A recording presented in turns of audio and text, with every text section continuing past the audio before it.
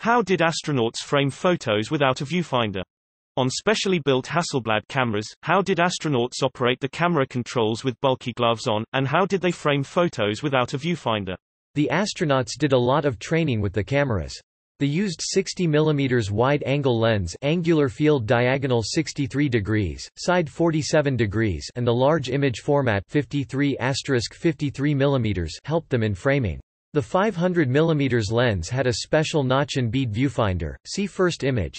Enter image description here. Image of a suited training from this page. Enter image description here. Apollo 16 geologic training exercises in Sudbury, Ontario, Canada July 7 9 1971, Charles Duke left and John Young studying traverse map, prepared for them during geologic traverses at Sudbury. Both Astronauts have electric Hasselblad cameras, similar to the ones they would use on the Moon, mounted on their chest plates. From this NASA page, "'Astronaut Training for Lunar Photography' The Apollo astronauts underwent intensive training in preparation for their Moon explorations. Over the several years prior to the Moon, missions, scientific and photographic training was provided.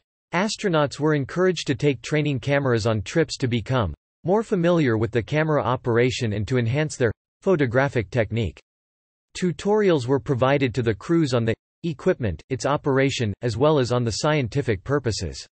The crews visited geologic sites in Nevada, Arizona, and Hawaii, frequently simulating their lunar traverse, completely outfitted with sample bags, checklists, simulated backpacks, lunar rock hammer, core sampling equipment, and typically using Hasselblad L cameras, similar to those they would use on the Moon. As the use of the camera was mostly automated, the most crucial training was in pointing the camera which was attached to their chest control packs for the suit's environmental control system. The astronaut would point his body in order to aim the cameras. Films taken during the practice exercises were processed and returned to the crewmen who would study the results from this NASA page. If we look at some Apollo 11 images from this NASA page, Enter image description here. Enter image description here. Enter image description here. Enter image description here. Enter image description here. One image is nearly perfect framed, but sometimes the camera was not vertical and should be held a little higher. Enter image description here. Aligning all images of a panorama was not easy, see the very different vertical positions of the horizon. But all are magnificent historical images. The camera was modified with large levers to be used in space wearing thick pressurized gloves, see the red arrows.